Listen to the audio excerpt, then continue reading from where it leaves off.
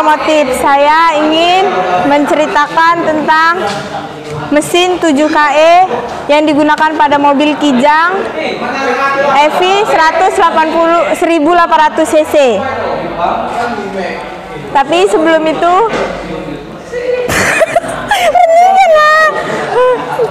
klik tombol subscribe terlebih dahulu, komen, like and share. Udah, udah.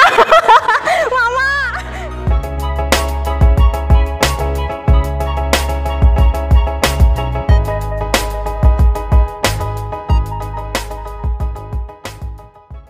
Tujuh KE digunakan pada mobil Kijang EV 1800 cc.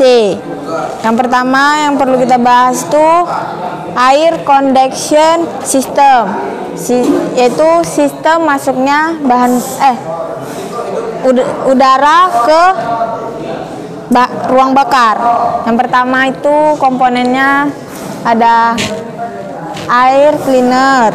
Yang ini namanya air cleaner. Terus tuh yang ini namanya air kondektor kondektor pipe. Terus ini tuh ada throttle body. Terus ini namanya intake manifold. Ini di bawahnya tuh ada gabungan dia. Jadi dia dipisah jadi dua. Di bawahnya tuh namanya intake chamber. Terus ini ruang mesinnya.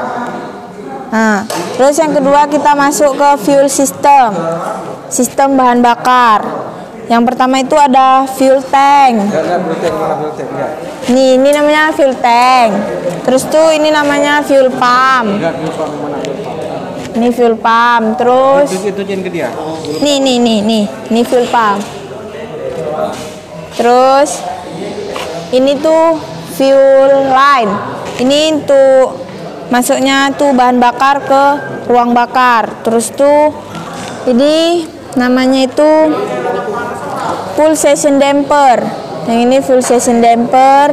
Terus di sini ada delivery pipe. Yang ini pipanya, pipa pengirim. Terus ini ada injektor. Injektornya ada 4, 1 2 3 4. Terus tuh ada pressure regulator. Sini. Ini pressure regulator. Nih, nih, nih, sini. Terus, terima kasih telah menonton video ini. Semoga bermanfaat. Dan jangan lupa like, comment, subscribe. Udah. Salam otomotif.